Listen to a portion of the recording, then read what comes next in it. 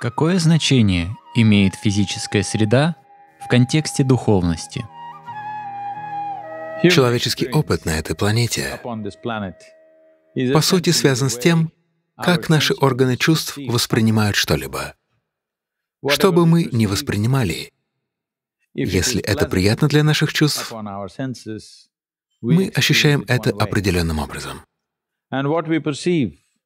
А если то, что мы воспринимаем, неприятно для наших чувств, тогда в нашем опыте это становится грязью.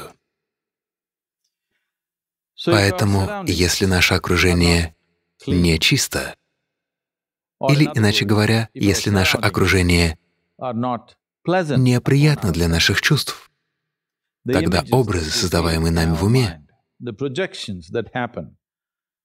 и проекции, действующие на наш механизм переживания жизни или источник нашего опыта, будут неприятными. Когда у вас возникают подобные неприятные ощущения, становится трудно перейти в счастливое состояние опыта или взять под контроль источник опыта, чтобы вы могли сознательно создавать природу своего опыта или сознательно диктовать природу своего опыта. Духовный процесс, по сути, означает лишь одно — все, чем вы являетесь, будет происходить осознанно. То есть ваш жизненный опыт определяется вами. Поскольку ваш жизненный опыт определяется вами, то спокойный вы или тревожный не определяется окружающей атмосферой. Счастливы вы или несчастны не определяется природой того, что происходит вокруг. Несчастны вы или радостны, также по сути определяется тем, что вы делаете с собой внутри себя. Чтобы это произошло, важно, чтобы наши органы чувств не воспринимали что-либо как неприятное. Поэтому создание чистой атмосферы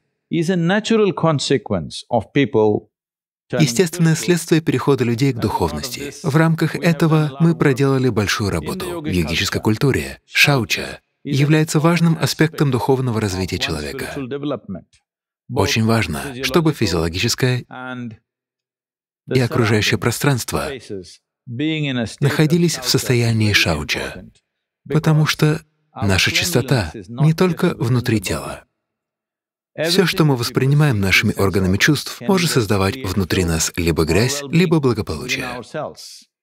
Основываясь на этом, мы уже многое сделали. Выше мы создали образцовое чувство чистоты у окружающих нас людей.